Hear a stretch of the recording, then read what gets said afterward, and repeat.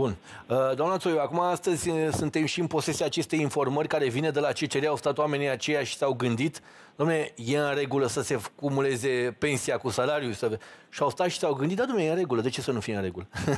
Până la urmă, CCR-ul a decis că e în regulă. Era un fast de ăsta pe care l-am văzut la televizor. Domne, o săptămână întreagă numai despre asta se vorbea. Domne, trebuie să terminăm o dată cu chestia asta. Era și domnul Ciolacu într-o stare de ne, nu se mai poate. Și cei de la CCR azi au decis că nu, domne, e rămâne așa, e foarte bine era foarte bine cum era. Mi-au scris mai mulți colegi de, de dimineață să mă întrebe dacă da. judecătorii CCR nu trebuiau să se recuze pentru că era un conflict de interese, că ei înșiși o bună parte au și pensie specială și salariu.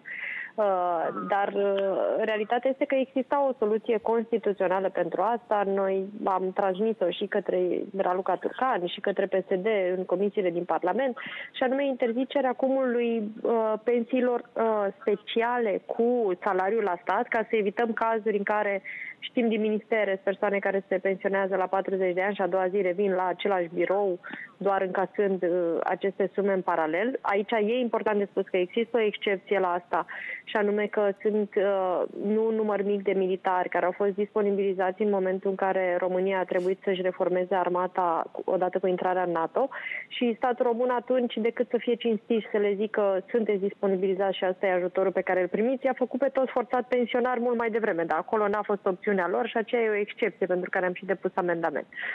Uh, asta, deci asta ar fi fost soluția constituțională, pentru că atâta timp cât un om a muncit, a contribuit la stat timp de 35 de ani da. și vrea să continue să muncească ca să-și completeze o pensie mică, avem totuși un milion de pensionari cu o pensie sub nivelul da, dar nu la stat. aproape, da? Dar nu la stat, poate să muncească, nu asta e ideea. Da. Dar nu la stat. Uh, în ultima formă a legii și de ce USR nu a votat această lege la Camera Deputaților este că și-au băgat la 9 dimineața un șir de excepții la care oricum nu li se interzicea nimic. Da? Deci la îngrijitoarea de la grădiniță care vrea să completeze o pensie mică cu un salariu mic, da. în viziunea domnului Ciolacu nu mai trebuia tăiat să nu mai ia domnule și una și alta dar au introdus o serie de excepții la exact aceleași locuri despre care vorbim când vorbim de privilegii. ANR, ASF, ANCOM, e acolo nu era nicio problemă să cumulezi salariul de uh, 23.000 de euro, e plafonat acum deci, salariul noua ordonanță. Indiferent de această decizie da?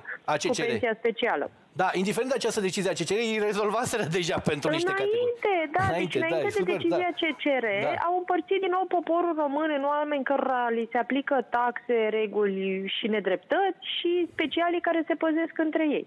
Da, e interesant pentru că